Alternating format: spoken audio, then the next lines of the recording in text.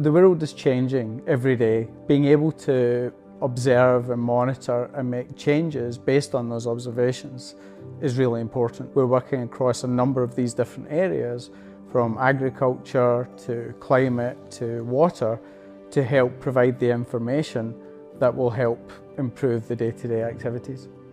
Earth observations are anything in, on or around the Earth. You have a mixture of in situ or, or sensors which are in place, like on the ground or in rivers or in different areas.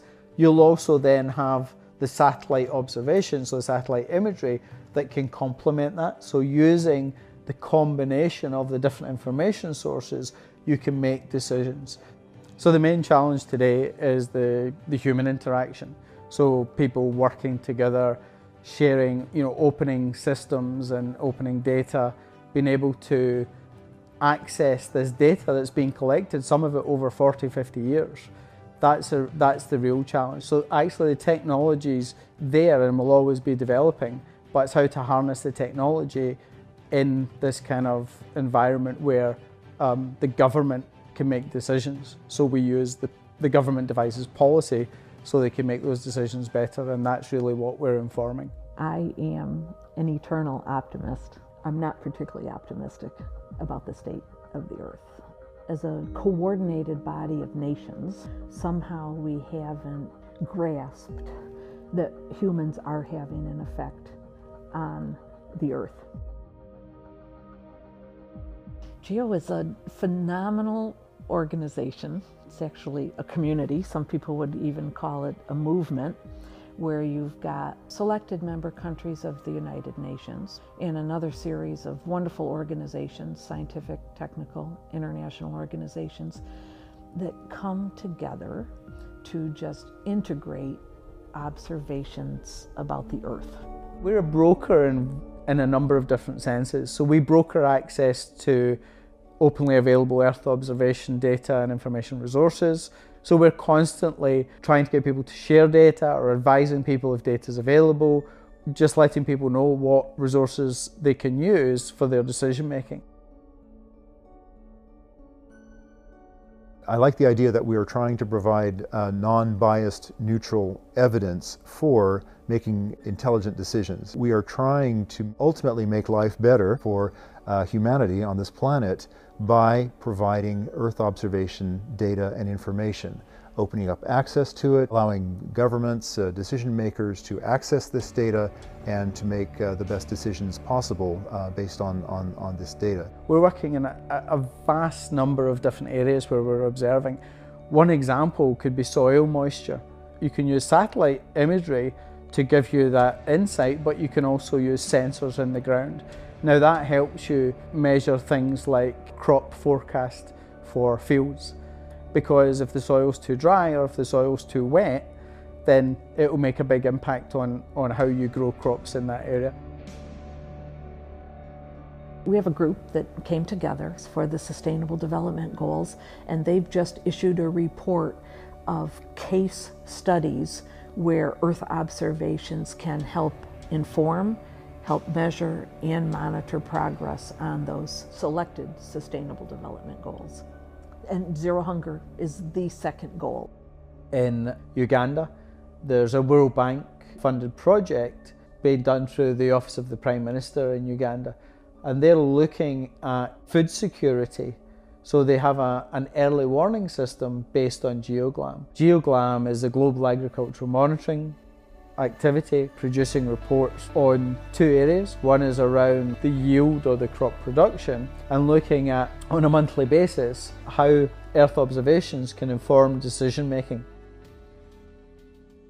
If you have, for example, a disaster, very, very quick we need data. An easy example is you, you have a flood in a country and you want to know where the population has been touched to establish mapping and to allow the NGO or the government to just go there and provide some help. All this kind of data can be easily accessible if you know that exists. GEO is really trying to encourage people to share their data and also to maybe provide some tools to have access to this data more easily.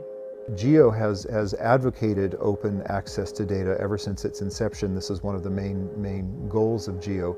And I think that with, for example, the Copernicus project that's been put forth by the European Commission, that the data coming from the Sentinel satellites will be openly accessible to the public. And I think this is really one of the successes of GEO is, is, in, is providing the, the impetus to uh, provide open access to data. We did a study a couple years ago that walked through five different reasons why it's important to share data education, capacity to build development, environmental transparency, but it's also good for the economy. And so there's some wonderful examples out there about as soon as a government adopts broad open data sharing, it's good for their sister agencies, but it also shows that it's good for the private sector and the economy at large when governments share data.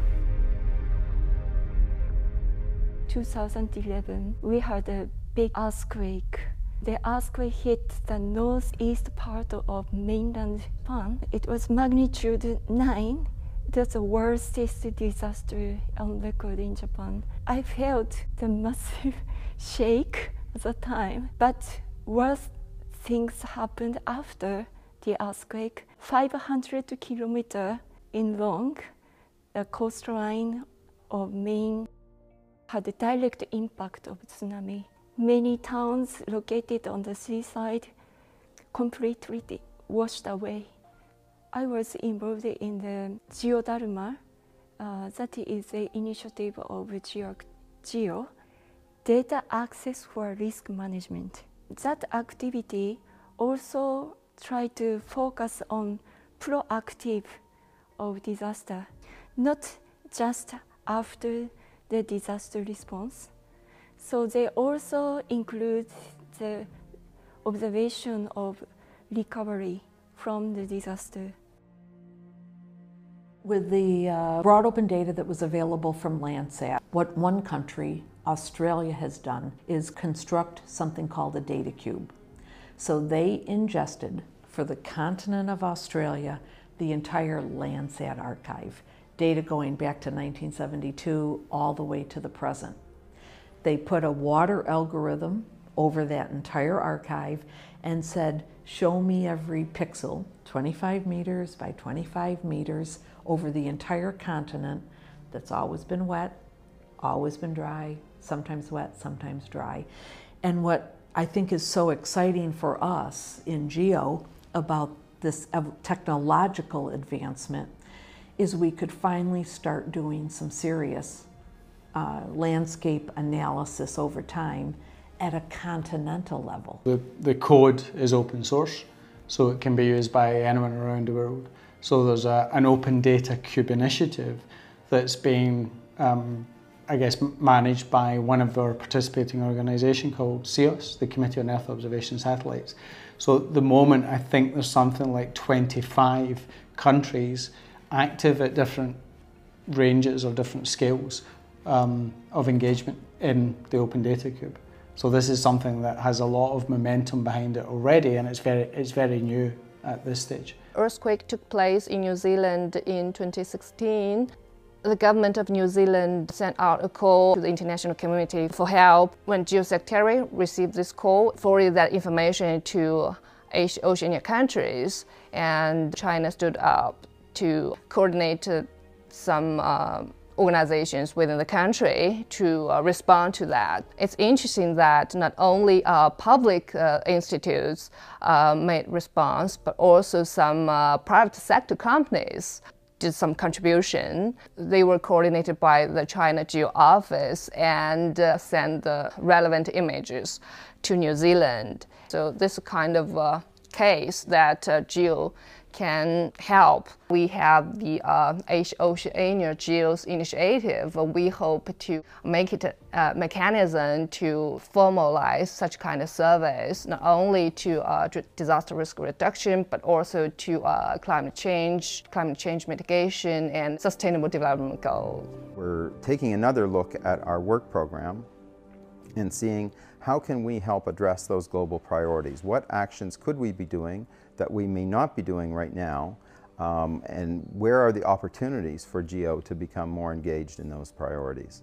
We're a small piece of a gigantic puzzle. We're trying to reach out to the remaining 100 or so countries that haven't joined GEO. By joining, there'll be increased awareness about Earth observations, integrating those observations, the importance of broad open data sharing, and how joining programs and initiatives like GeoGLAM can have an effect right down to the end.